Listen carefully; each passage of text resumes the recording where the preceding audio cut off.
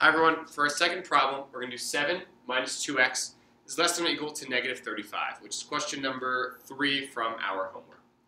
So to this, the first thing we're going to do is we want to isolate for x, so we have to get rid of this pesky little constant first.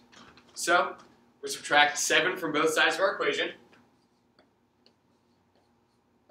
which is going to give us 0 minus 2x is less than or equal to 35 minus 7 is going to be negative 42. Awesome. And we do not switch our inequality around because we are only subtracting. We're not dividing or multiplying by a negative, so we do not change our inequality in this step of the problem. Our next step is we're going to write this as negative 2x is less than or equal to negative 42. We're going to divide both sides by negative 2. And we get x, and 2 goes into uh, 42 21 times. So we have x and 21, and we've just divided both sides by negative 2.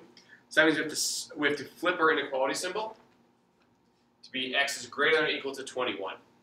And that is going to be our final answer. On a number line, we have 21 here. Our circle is going to be filled in on the 21 because this includes 21 as one of our values. And we're looking at all values greater than 21, so it's going to be going to the right or, uh, as we say in our classroom, towards the door. Awesome.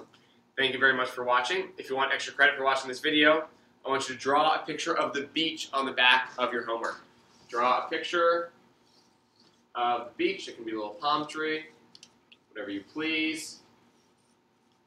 Draw a picture of the beach on the back of your homework to receive an extra credit point. Thank you, and I'll see everyone tomorrow for another great day.